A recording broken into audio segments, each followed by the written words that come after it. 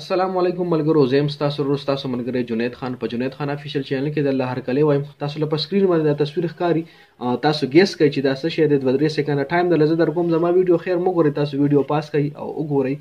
ګیس کوئ چې دا څه شی دی خو زه درله وایم چې دا د شاتو مچۍ ده د شاتو مچۍ چې کله تاسو ډېره زیاته را زوم کوئ دا د هغې تصویر ایستې شوی دی په مایکروسکوپ په ذریعه باندې د هغې د سر نه تاسو وګورئ دې نه پته لګي چې د الله پاک قدرت څومره زبردست الله پاک قدرت دی الله پاک څومره خيسته خيسته سيزونه جوړ کړي دي دا رشاتو مچي دا په دو... په ګلونو باندې ګرځي د دنیا ګلونه چې دا کله رسایله نه چور کړي او کتر شات ته جوړ شي او د الله پاک سیستم لګوري دا شات په څومره شفا صفا طریقې سره جوړي چې کله دا د ګلونو نه سره چور کړي او دا پلا روانه کدا لګ زخمی شو دی خپه زخمی شو دی بڼه زخمی شو ادې جسم کې یو زیم زخمی شو او دا کله د شاتو هغه بین له ورشي نو ادې پیله چیکینګ کیږي ادې فزیکل معاینه کیږي چې آیا دا ټیک ته کنه کچری دا ټیک وینو دا پریخ وشي غبین ته ورشي او شات جوړ کې کچری دا ټیک نه دا پلار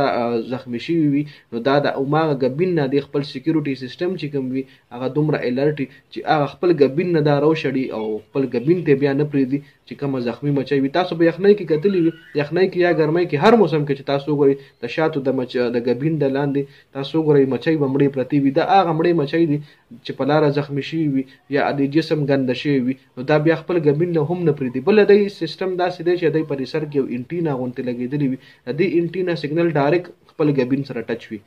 یو مچۍ وم تو نه ویني چې هغه بل ګبین ته لاړه شي دا دومره سټرانګ سیستم دی دی د دومره خشته سکیورټي سیستم دی د الله په قدرتونه تاسو ګورئ